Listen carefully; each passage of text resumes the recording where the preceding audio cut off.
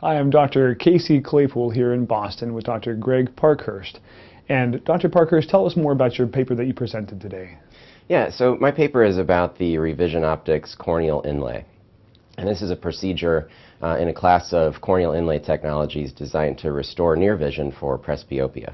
So how has the data been presented so far? Yeah, the, results have been really exciting. Um, in my patient population, what I've seen is on average a gain of about five lines of near acuity. But the nice thing about this technology is that it does not result in any significant decline in distance acuity. So this is a very small, 30 micron thick hydrogel inlay. It's 80% water, and it's centered over the pupil, only in the non-dominant eye.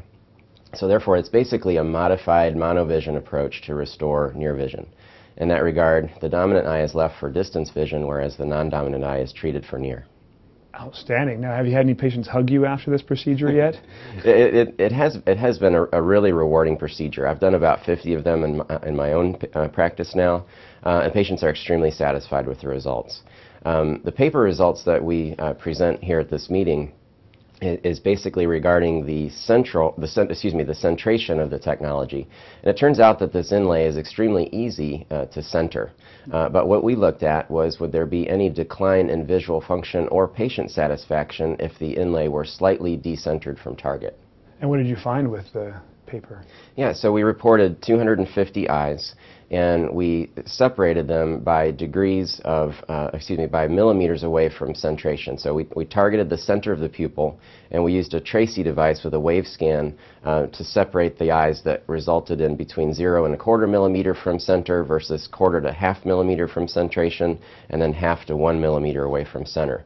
And what we, what we reported in the paper is that 98% of the eyes were within one millimeter of the intended target of centration, whereas whether it was within a quarter, within a half, or up to one millimeter apart, the vision results were no different.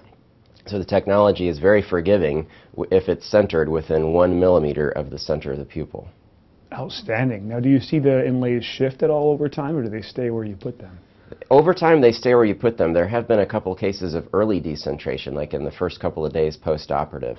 Uh, one thing that I really like about reversible and removable technologies like this is, uh, you know, unlike laser-based approaches, you can lift a flap and replace them or, or remove them if you need to.